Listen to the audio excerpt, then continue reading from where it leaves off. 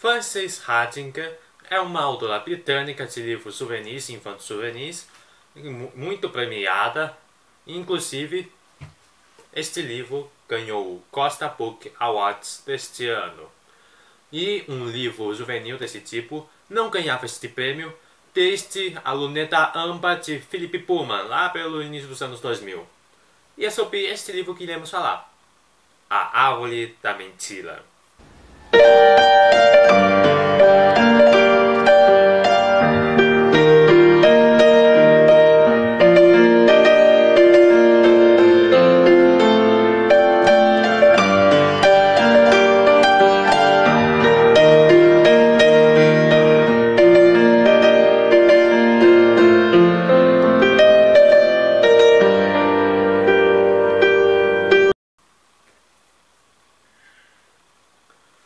A história trata de uma garotinha chamada Faith, uma garota muito esperta, curiosa, filha do reverendo Erasmus, um, re, um reverendo muito respeitado e também conhecido por seus trabalhos nas áreas de biologia e pesquisa científica.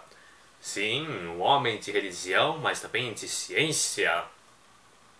E, neste, e a história começa com ele se mudando para uma cidadezinha litorânea junto com sua esposa, seu cunhado, a, a Fei também, claro, e seu filho mais novo. E, e chegando nesta cidade, vamos descobrindo coisas, pessoas e segredos. Mas onde se encaixa essa tal árvore da mentira? Aí a árvore em questão está nas mãos do reverendo Erasmus, é uma árvore que parece que quando é alimentada com mentira, ela dá um fruto. E esse fruto contém a verdade. Uma história muito intrigante, interessante. A, a, a, o, o cenário inteiro é magnífico. Você se sente naquela época mesmo. É, é muito boa essa história, mano. Porque se, não só o, cenário, o cenário, não só esse negócio todo de mistério da árvore da mentira, mas também porque se passa naquela época de descobertas mesmo, sabe? Em que as pessoas ainda discutiam teorias que hoje já estão para lá de ultrapassadas. Uh, debatiam se Darwin estava certo ou era só um lunático que achava que humanos são a mesma coisa que macacos, uh, que, as que lugar de mulher lá na casa mesmo, ou no máximo, no máximo, sair para conversar com as outras mulheres em algum lugar de respeito, claro. E canhotos não podiam ser canhotos.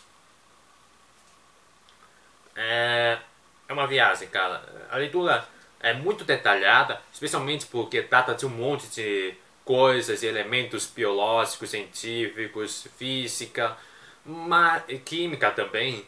Mas mesmo assim, consegue ser muito dinâmica e quanto mais você lê, mais você quer saber o que vai acontecer, se interessa pelas personagens. Cara, é muito bom esse livro.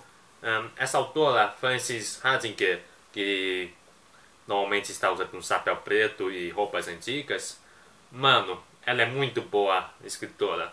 Eu espero ver outros livros dela também mais pra frente. E é isso. Recomendo muito este livro. Você não vai se arrepender.